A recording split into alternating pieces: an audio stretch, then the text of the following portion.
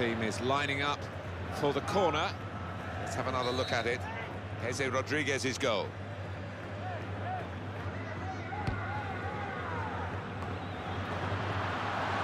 Goes for goal! Oh, it's in there!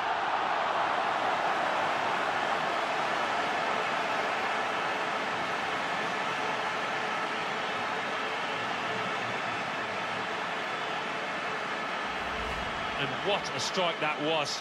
It's just arrowed into that right-hand side of the goal.